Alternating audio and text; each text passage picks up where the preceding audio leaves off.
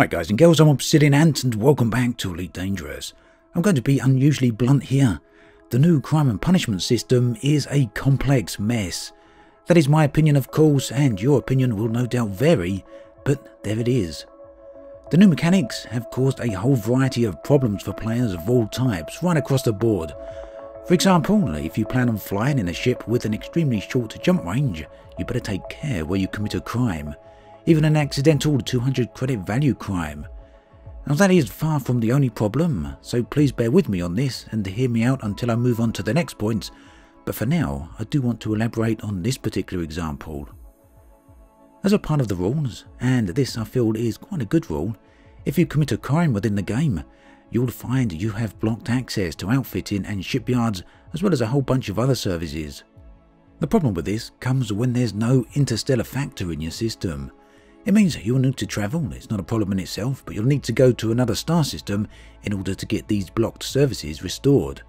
However, if you have a ship with an underpowered FSD, chances are you will be unable to leave the system, and as you'll also be unable to access the blocked services such as outfitting and shipyards, it means that you cannot change your ship and you cannot change any of your modules. In short then, you'll be completely stuck. This leaves you with two choices, the first is to self-destruct and choose a free Sidewinder. The second is to be willingly killed by a player or an NPC so that you end up being respawned at the detention facility.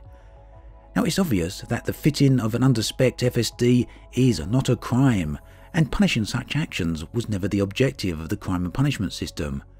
It also seems obvious to me that the multi-layered rule set for hot modules and hot ships is an inconvenience to all players.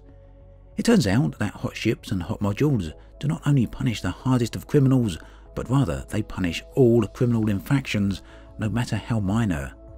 It's really not a stretch to say then that it seems the game has lost sight of what the crime and punishment rules originally set out to achieve. In short, the letter of the rules have defeated the spirit of the rules. But what was really the original intention of crime and punishment? Were these rules ever actually intended to punish criminal actions against players and limit griefing tactics? Or was the entire point instead, right from the beginning, to overlay a new blanket rule set that all players have to follow? A new system so in depth that it will touch upon nearly every aspect of the game and then directly affect every player, regardless of whether they are PvP focused or PvE focused. Well, as a somewhat answer to this, Frontier have stated numerous times that these new systems are merely the first steps towards a fleshed out criminal gameplay that is to arrive at a later date, and further, that they wanted a robust punishment system in place before they added any potential future gameplay.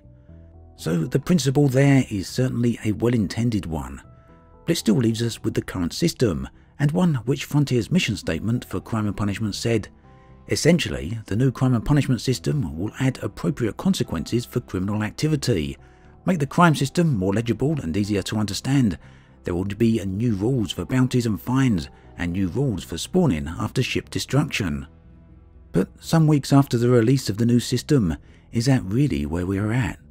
Is a new system legible and easy to understand, and does it really have appropriate consequences for criminal activity? Well, Murder is perhaps the ultimate crime within the game. The consequence is a high bounty and death. Smuggling is also seen as a serious crime, the consequence of which is a high fine or a bounty and potentially death, depending upon the cargo you carry in. And of course, we all know that loitering is punishable by death. These rules make sense, even if the punishments are harsh in some cases, but the player knows what to expect. Firstly, because murder and smuggling are obvious criminal actions, and we don't need the game to tell us that. We also know loitering is seen as a serious crime because the game does repeatedly tell us that. However, beyond that, there are two key issues. First, not all crimes are intended, and some are so minor that it's a surprise that they are a crime. And second, the consequences for a crime are unclear and in some cases they seem to be hidden. So what are unintended or minor crimes? Well, there's a lot of these, and a lot of people have been affected by them in multiple ways. But here's a couple of examples. One popular minor unintended crime is getting a bounty for friendly fire. Yes, a player can avoid this, but it does sometimes happen regardless of how careful you are. Another is getting bounty for unintended murder. Now, example of this, a friend of mine recently had a unwanted ship stray into the line of fire of its NPC controlled fighter. So this wasn't his own doing, it wasn't from his own trigger or his own ship, and this earned him an assault fine. The unwanted ship was then killed by a third party, which for some reason earned my friend a murder bounty, which in turn increased his notoriety. And this isn't an isolated case, the same thing has happened on many occasions. Sometimes it happens in wings, and sometimes from the NPC, or just sometimes it happens from a misfire or friendly fire. But anyway, players are then finding themselves committing crimes either without any direct involvement or by complete accident. Truth be told, this does happen to some extent in nearly all games, but the extent to which it's now happening in Elite is very telling of its design and its implementation. So to hammer that point, players are accidentally committing crimes. Players are committing crimes without any active involvement. The game does not inform you of what a crime is until you have actually committed it. These occur due to inconsistent rules, lack of information, and a failure of in-world logic. This entire situation is then exasperated when we move on to the punishment for crimes. To an extent, crime and punishment does now have a sliding scale to create the harshness of the punishment. But in my opinion, that scale is, and perhaps has always been, completely out of balance. It also suffers from the same inconsistency and failure of in-world logic that I mentioned earlier. For example, an assault bounty will result in a 200 credit fine and a death warrant. However, if the crime is so minor that it only warrants a small 200 credit fine, then it makes no logical sense that it is also extreme enough that it also warrants a death penalty. It is either a minor crime or a major one. Logically, it should not be both at the same time. Further, the new punishment rules lead to cases like the example I mentioned in the opening of the video, players getting stuck in isolated systems with no get out option. But even without those extreme edge cases, which are of course all too common, players of all types, no matter whether they are aggressive or passive, are still heavily inconvenienced by having to mess around with hot ships, hot modules, in addition to notoriety and interstellar factors. What makes this worse is that players are penalised to this rather excessive level from either having committed minor crimes, unintended crimes, or due to lack of available information on exactly what constitutes a crime. So once again, we face that question. What was the intent of the new crime and punishment system? Was it implemented to make the game more fair and balanced for PvP, as well as to offer consequences for the separate issue of griefing? Was it, as Frontier stated, to introduce a system that is legible and easier to understand? Unfortunately, it has failed on all those points. What it has achieved, however, is potentially something far greater it now offers the potential to make the game world feel more alive, as it adds to a world where all actions right across the board have a long-lasting repercussion for the player. However, for now at least, this is also something that the game is failing at.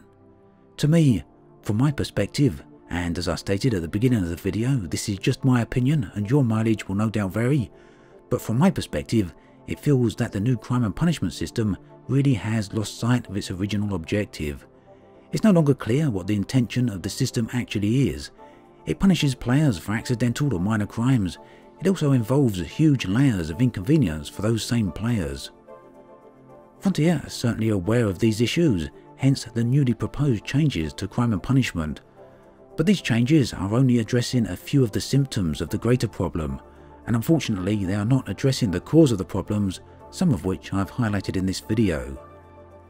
Talking of which, one thing you will certainly have noticed in this video is that I have not talked in any detail about true crime within the game. I haven't discussed the effects of player killing or piracy, I haven't talked about griefing or seal clubbing.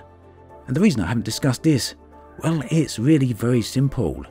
The new crime and punishment rules affect all players in exactly the same way, regardless of intent or in some cases even regardless of outcome.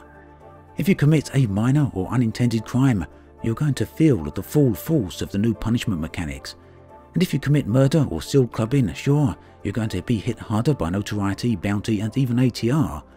But it really does feel as though that is a side effect of the system rather than the aim of it. And that is really very telling of where we're at, isn't it? As always, thanks for watching, and I'll catch you guys and girls next time.